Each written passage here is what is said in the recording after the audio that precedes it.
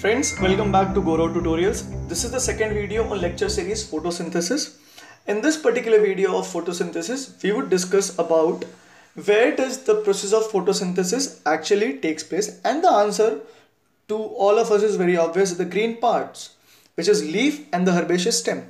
In this video we would discuss about leaf. Leaf basically has three parts epidermis, vascular bundles and mesophyll. The outermost covering of the leaf is referred to as epidermis. The upper part is referred to as adaxial epidermis whereas the lower part is referred to as abaxial epidermis. The adaxial epidermis would have a thick layer of cuticle with small amount of stomatas out there whereas the abaxial would have thin layer of cuticle with large number of stomatas. The central part of the leaf is occupied by a vascular bundle when you cut down a vein the vascular bundles you see are covered by bundle sheath which has in it xylem. Xylem is responsible for transport of water and minerals and phloem which is responsible for transport of food. In leaves, photosynthesis occurs particularly in the specialized cells which are referred to as mesophyll cells. They contain chloroplast and are actually the site of photosynthesis. Now, these mesophyll cells are of two type. The one towards the adaxial are arranged compactly which are parallel to one another and the one towards the abaxial axis are having a lot of intercellular spaces between them and are arranged very irregularly. So we'll find there are two different type of mesophyll cells. The one towards the adaxial is referred to as palisade parenchyma and the one towards the abaxial is referred to as spongy parenchyma. So kids, I hope you would be understanding the video. Let us now try to get into the structure of the plant cell.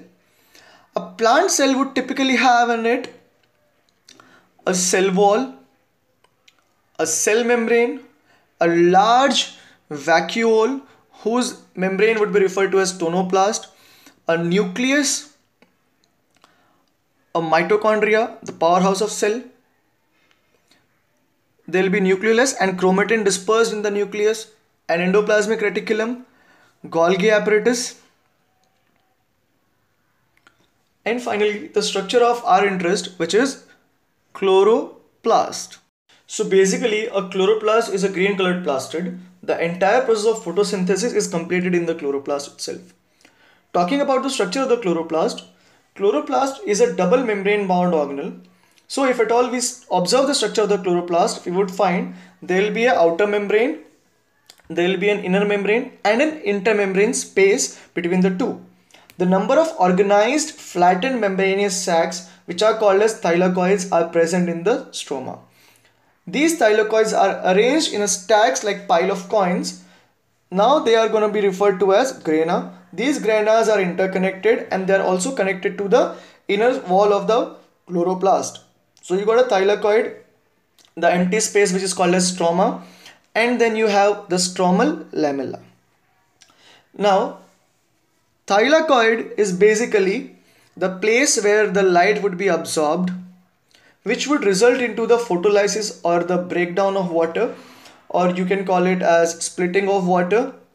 Now the splitting of water would release oxygen and ultimately drive the synthesis of ATP and NADPH2. Since this process is dependent on light, it is also called as light reaction. So the light reaction would take place in the thylakoid.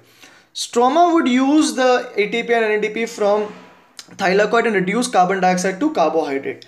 And since this process being independent of light, this reaction are called as dark reaction. So that is it kids. I hope you would have understood the video. If that's the case, please hit the like button. You can share the video with your friend and also subscribe to my channel. May God bless you and thank you very much.